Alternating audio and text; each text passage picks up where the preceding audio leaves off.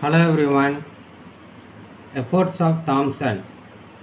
James Thomson, Lieutenant Governor of NW Provinces 1843 to 53, developed a comprehensive scheme of village education through the medium of vernacular languages.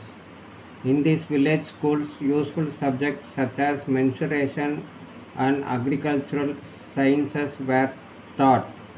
The purpose was to train personnel for the newly set up Revenue and Public Works Department. Like, share, and subscribe to support the channel. Thank you.